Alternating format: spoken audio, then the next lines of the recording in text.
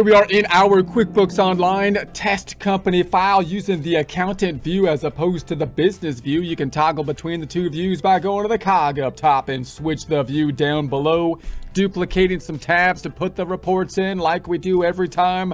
Right click on the tab to duplicate it, and then we're gonna right click the tab to duplicate it.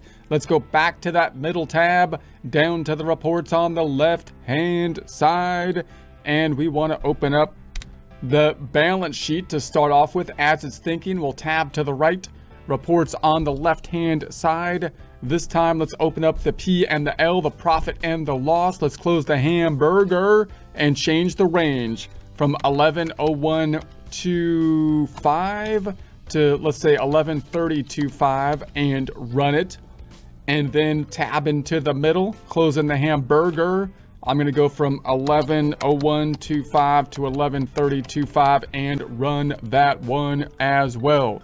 Now, in prior presentations, we've been thinking about our e-commerce situation where we're selling inventory, but not on ground in a store, rather online using some kind of application such as a Shopify, uh, for example. And last time we thought about the easiest method to basically track the Shopify income as it pulls in to our system, that being just waiting till the thing hits the bank account and uh, using the bank feeds to enter it into the system. And we saw that although that is quite easy, it does have some limitations in that we don't get as much detail in terms of the actual items uh, that are that are broken out. We have a net amount that's actually coming into our bank account. So we might want more detail for tax preparation, to deal with sales tax issues, and also to uh, just have more information for our decision-making purposes. So I'm going to do this in Excel first because Excel is kind of the most transparent way to see this, and then we'll do a similar process in QuickBooks. Now note, when we look at this process, you can think of it, we're going to think of it as a manual process first, but this is what a lot of the applications are doing as well. So when we get into the apps, including the integration, the QuickBooks app integration. What is it doing? It's not pulling most of these apps and the ones most people recommend is not pulling every transaction in as though it was a sales receipt mirroring a perpetual inventory system like we would have in an on-ground shop. Instead, it's summarizing the data in some way. So whether you're going to use an app or not, it's useful to first think, what what would be the manual method do to do if I was just going to try to pull the information in so we can understand what the apps are doing. So you could use this manual method so you don't have the integrations and the other apps and or you can you can use this as a stepping stone to understand what the apps are doing so that when you pull in the information uh, with the app you have some ideas of, of why it's and how it's doing what it's doing. Okay, so, so if we go to our Shopify, the, the general idea is if we have an online platform, we're concentrated on Shopify now, we might do an Amazon uh, comparison uh, in a future presentation, but the idea would be that you get the information from the Shopify and we're not trying to pull in every single transactions. So for example, if I go to my analysis in the Shopify and I go into the reports, and I'm going to take a look at the total sales report here. These are all the transactions that have happened. Obviously, this is not much happening in this particular Shopify, but that's all the stuff that's happening. I don't want to pull in each of these individual items as a separate sale in QuickBooks for many of the reasons we talked about before. It overwhelms the system and all that, and I already have the information here.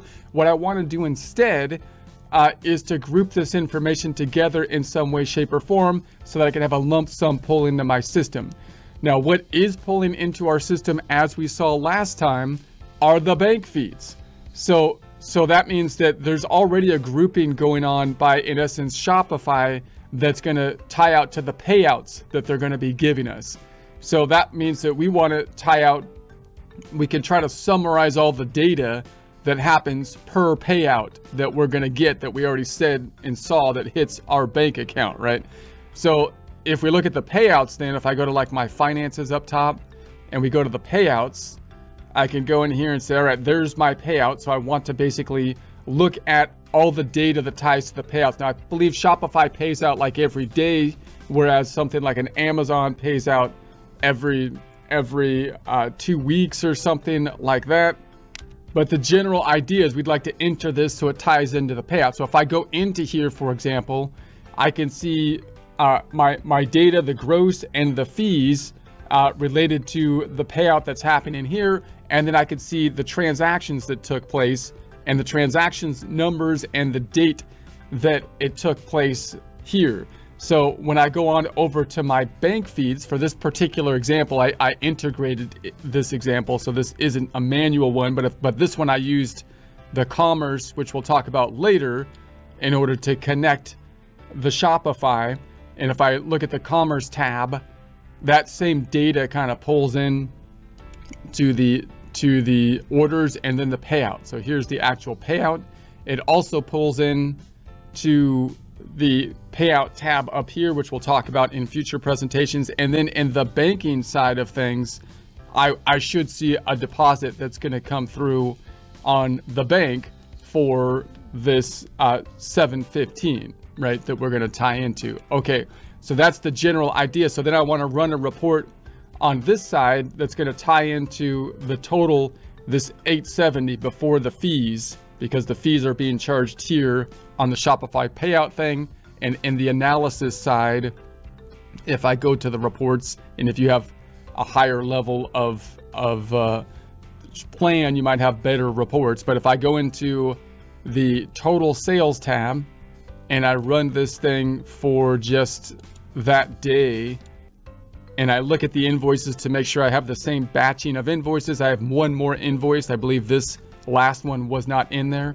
So this totals up to, to the 480 on the gross. And then we had, uh, we had shipping, which brought it up. We charged for shipping to 970 minus that $1 to bring it because this one wasn't included before. And that gets us to that 870 number. So, so this, we have a little bit different example in Excel from these numbers to make it a little bit more complex, but we're mirroring that kind of concept over here, right? So we have the sales side of things, we have the sales and we had discounts in this example, no returns, here's the sales and there's the shipping. And we imagine that we had sales tax collected in this particular example to get us to the sales, the amount that we, we uh, pulled in 1669.91.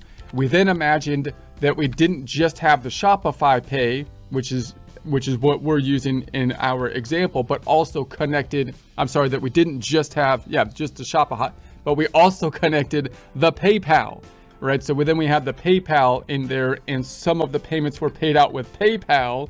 PayPal charges their own fees and then the rest was paid out from Shopify. So that's the general concept. And then in this screen, this screen is basically mirroring the payout screen that we looked at.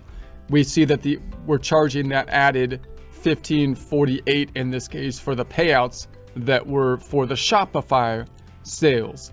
Now, last time we did our little Excel worksheet, imagining we just wait till the payouts hit the bank account. In this case, we would have two payouts, one from PayPal one from Shopify, and we just said that the checking account's going to go up, the, the PayPal account's going to go up, and then sales is going to go up for the other side of the transaction.